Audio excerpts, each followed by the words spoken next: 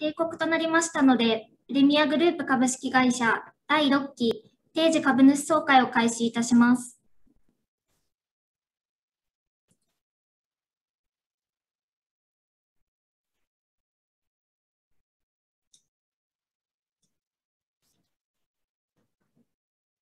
それでは柴田社長、よろしくお願いいたします。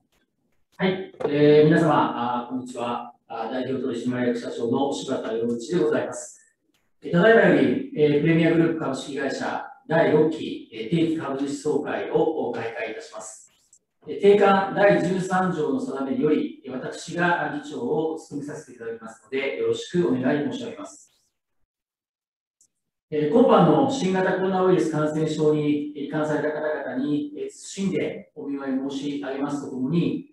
感染拡大の防止に向け、医療拡大最前線で日夜ご尽力されている医療関係者の皆様、政府及び自治体の皆様に心より感謝申し上げます。また、本日、議場へのご出席をお控えいただいた株主の皆様には心より感謝申し上げます。直接ご出席いただけなかった株主の皆様に向けて、本日の株主総会はインターネットでの中継を行っております。通信環境や接続障害による映像、音声の乱れにつきましては、ご容赦くださいますようお願い申し上げます。事前に株主様からいただいたご質問につきましては、報告事項並びに決議事項の上程がすべて終了した後に、私より回答を申し上げます。なお、社外取締役の大島博美は、業務にかかる諸般の事情により、やむを得ず本日は欠席とさせていただいております。それでは、あまず本株主総会の決議につきまして、出席株主数及び議決件数がすべての議案の決議に必要な計測数を満たしておりますことをご報告申し上げます。会計監査人及び監査役会の監査結果は、招集通知に記載の通りです。監査役からは、本総会に提出される議案及び書類がいずれも法令及び定款に適合し、不当な事項は認められなかったので、えー、報告をいただいております。次に映像を用いて第6期、すなわち2020年4月1日から2021年3月31日までの事業報告、連結計算書類及び計算書類の内容につきご報告申し上げ、続いて第1号議案から第6号議案を上呈し、その内容及び提案理由をご説明いたします。それでは映像をご覧ください。ただいまより第6期のご報告をいたします。なお、より詳細な内容につきましては、弊社 IR サイトに資料をアップいたしますので、そちらをご確認ください。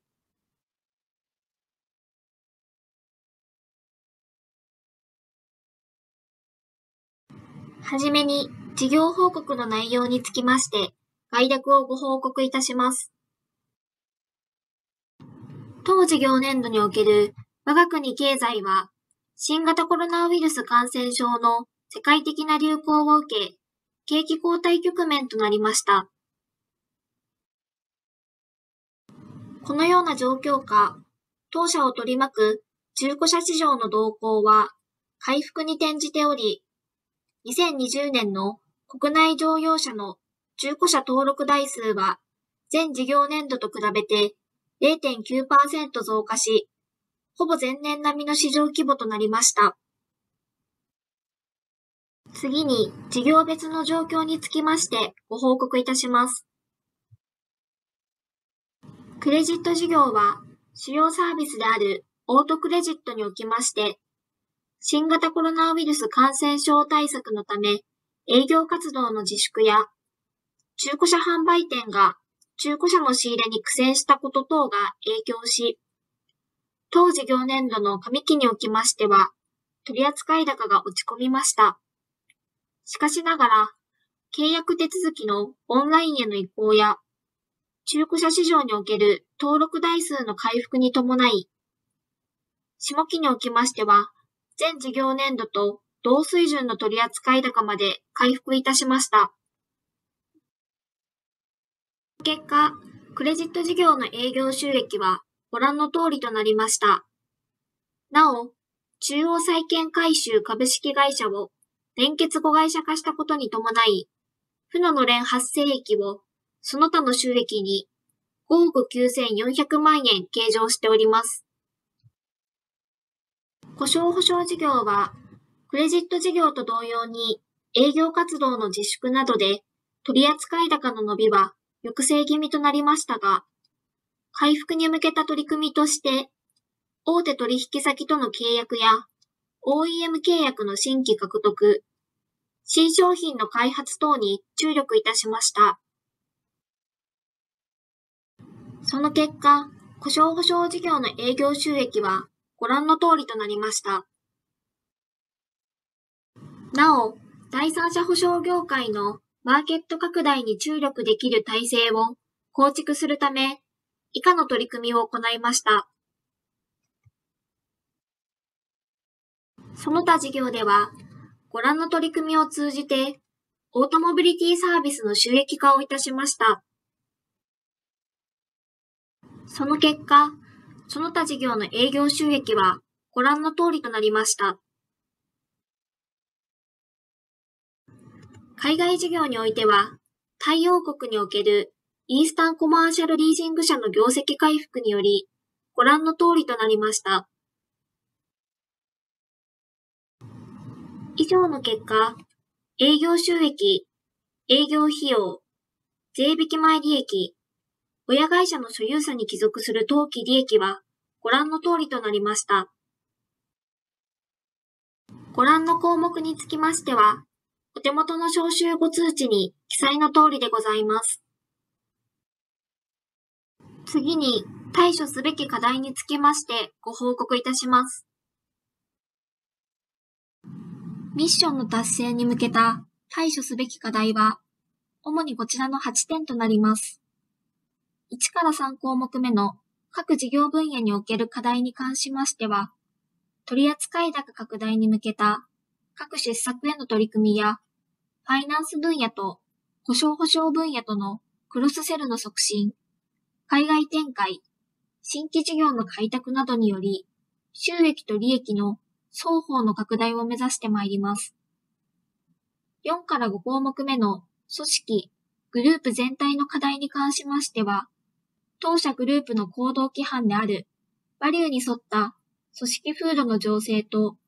適切なリスク管理により、さらに強固な組織基盤を構築してまいります。6項目目の ESG、SDGs の課題に関しましては、中古車や故障保障の利用促進により、循環型社会の形成に貢献するなど、当社の事業活動を通じて持続可能な開発目標の達成に寄与してまいります。7から8項目目の成長戦略の課題に関しましては、2023年3月期までの中期経営計画の達成を目指すことに加え、新型コロナウイルス感染症に対する十分な感染対策、取引工程や業務のオンライン化による安全かつ効率性の高い運営手法への移行など、DX 推進による新たなビジネスモデルの確立に取り組み、当社の競争力を強化してまいります。なお、各課題の具体的な内容と対策につきましては、お手元の招集ご通知の32ページから34ページをご参照願います。企業集団の現況のうち、こちらの内容につきましては、お手元の招集ご通知の35ページから38ページに記載の通りでございます。会社の現況につきましては、お手元の招集ご通知の39ページから48ページに記載の通りでございます。当社は株主の皆様に対する利益還元を重要な経営課題と認識するとともに、業績や事業拡大に向けた資金需要に対応した内部留保の確保を総合的に勘案した上で、安定的かつ継続的な配当を実施していきたいと考えております。当事業年度につきましては、年間配当金を前年より2円増配し、1株当たり46円といたしました。以上をもちまして、事業報告の内容について、概略のご報告を終了いたします。なお、ご覧の項目につきましては、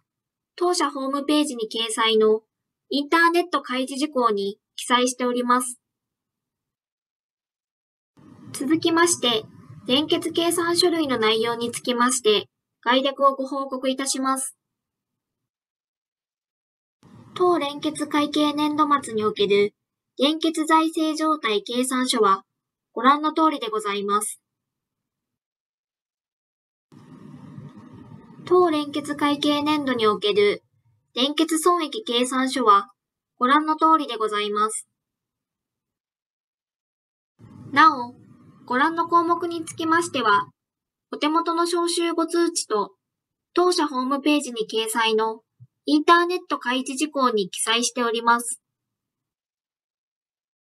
以上をもちまして、第6期のご報告を終了いたします。引き続きまして、第1号議案から第6号議案の各議案を上呈いたします。各議案の内容及び、その提案理由は、招集後通知に記載の通りでございます。まず、第1号議案、定款一部変更の件でございますが、お手元の招集後通知、6ページに記載の通り、法令に定める監査役の人数を書くこととなる場合に備え、補欠監査役に関する規定を新設して、補欠監査役の選任決議の有効期間を定めるため、現行の定款第29条について所要の変更を行うことをお願いするものであります。以上の通りご提案申し上げます。次の第2号議案取締役8名選任の件でございますが、お手元の招集後通知7ページ以下に記載の通り、取締役7名全員は、本総会の終結の時をもって任期満了となります。つきましては、経営体制の強化を図るため、取締役1名を増員することにし、取締役8名の選任をお願いするものであります。以上の通り、ご提案申し上げます。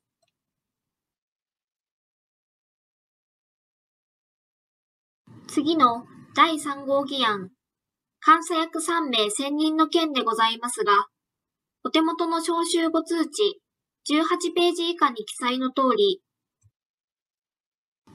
監査役3名全員は、本総会の終結の時をもって任期満了となりますので、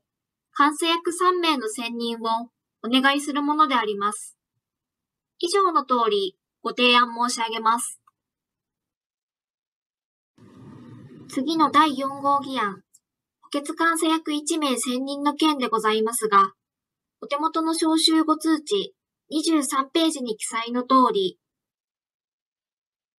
法令に定める監査役の人数を書くこととなる場合に備えて、会社法第329条第3項に基づき、補欠監査役1名の選任をお願いするものであります。以上の通り、ご提案申し上げます。次の第5号議案、取締役の報酬枠改定の件でございますが、お手元の招集後通知24ページに記載の通り、当社の取締役の報酬枠を年額3億5千万円以内に改定することをお願いするものでございます。以上の通りご提案申し上げます。最後に第6号議案、社外取締役を除く取締役の浄土制限付き株式報酬制度における報酬枠改定の件でございますが、お手元の招集後通知25ページ以下に記載の通り、対象取締役に対する浄土制限付き株式報酬額を年額5000万円以内、新たに発行、または処分される当社の普通株式の総数を年2万5000株以内に改定することをお願いするものでございます。以上の通りご提案申し上げます。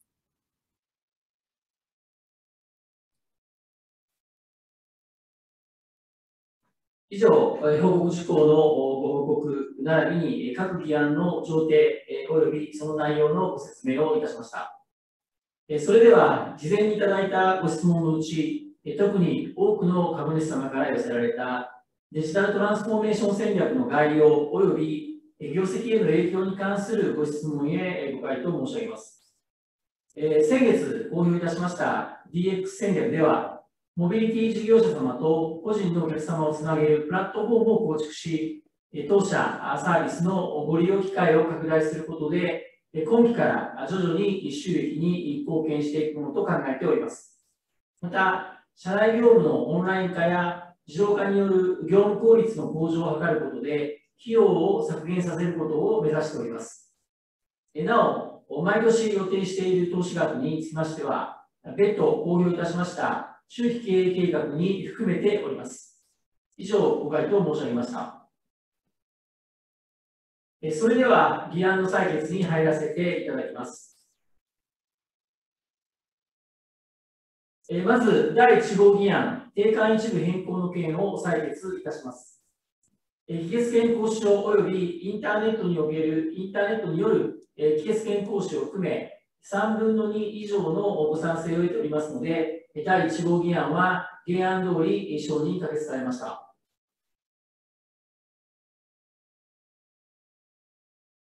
次に第2号議案、取締役8名選任の件を採決いたします。非月健康証及びインターネットによる非月健康証を含め、過半数のご賛成を得ておりますので、第2号議案は原案通り承認可決されました。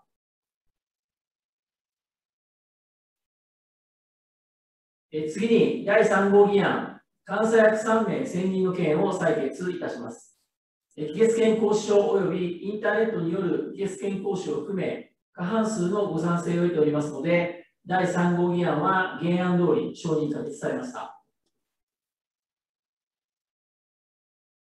え次に、第4号議案、補欠監査役1名選任の件を採決いたします。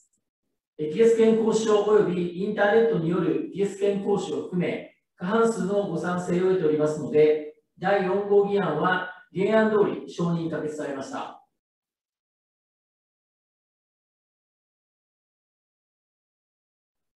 次に、第5号議案、取締役の報酬枠改定の件を採決いたします。気血健康証及びインターネットによる気血健康証を含め、え過半数のご賛成を得ておりますので、第5号議案は原案通り承認可決されました。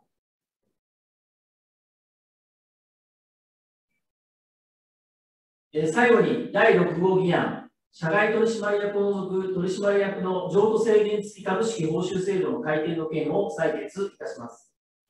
技術健康証及びインターネットによる技術健康証を含め、過半数のご賛成を得ておりますので、第6号議案は原案通り承認可決されました。